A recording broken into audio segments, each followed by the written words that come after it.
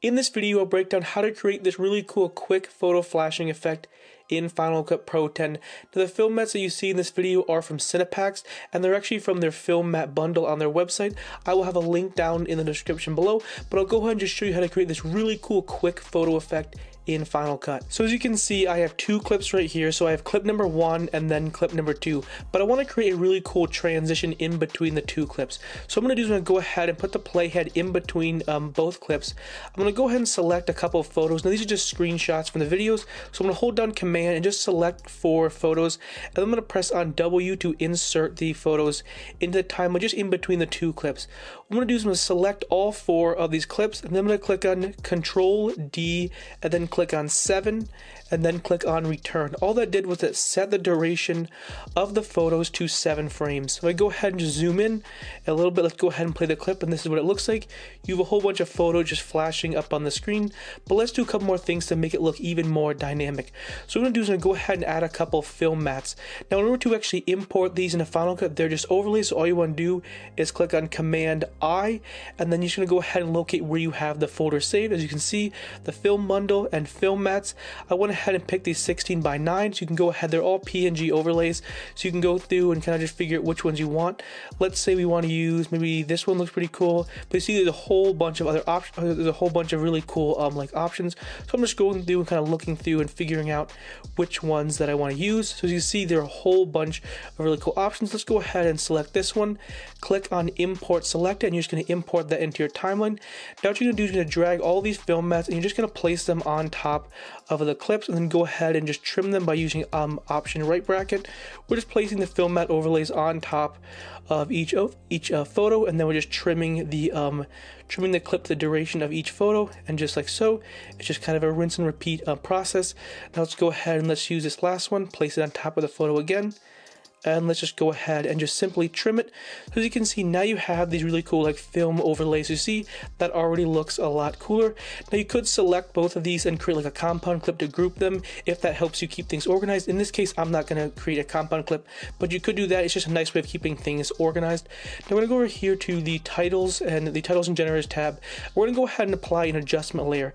Now this adjustment layer is a free plugin from Ryan Nagel. It is essential for all Final Cut editors. You definitely need to go ahead and, and uh, download this free adjustment layer plugin. Let's just take the adjustment layer and just drag it onto the timeline. Now let's go ahead and select on this adjustment layer, click on Control D and then click on 6 and then click on return. All we did was we set the duration of the adjustment layer to 6 frames.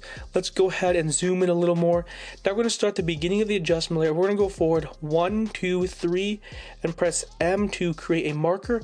Now over here to the effects panel. Let's go over to blur. Now this is a built-in um, effect in Final Cut. Let's apply the directional blur on top of the adjustment layer and let's switch the position over to something like maybe um, 90. This can be completely up to you. So let's go to 90, change the angle to 90. Now let's go to the beginning of the adjustment layer. Let's take the amount and we'll bring it all the way down to zero and then place a keyframe on the amount. Go forward one, two, three frames and let's go ahead and really crank this up.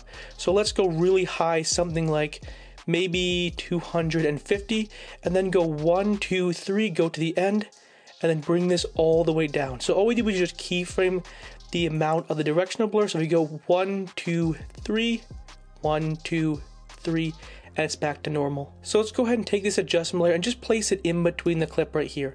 Now we're going to go ahead and select on this adjustment layer and click on Command C.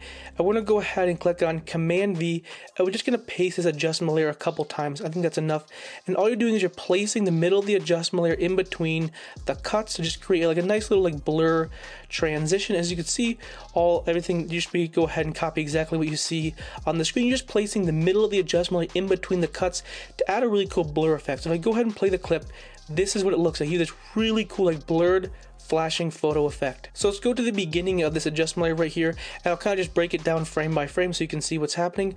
As you can see I just keyframe the amount of the directional blur. If I select the adjustment layer and then you can see one, two, three it's really blurry and then one, two, three it's back in focus and again you're just placing it in between all these different in between the different cuts and there you go really is it's really as simple as that and you create this really cool like flashing photo effect. I just think this is a really cool effect. There are of course other things you can do to make it look a little bit different, but I think it's just a really clean, simple effect. It's just a really cool way of having a bunch of photos kind of a display on the screen rather than just having like a photo, photo, photo. This is just a really cool way to add a little bit of like life to it and make it look a little more interesting and just overall make it look a lot more dynamic. I think this is a really cool, really clean, simple transition. Anyways, hopefully you enjoyed this video. Hopefully you found it helpful and informative. If you enjoy these types of videos, make sure to go ahead and hit that subscribe button. And if you're looking for some really cool Final Cut Pro plugins, presets, and overlays, definitely go ahead and check out my digital store. Anyways, I will see you in the next one. Peace.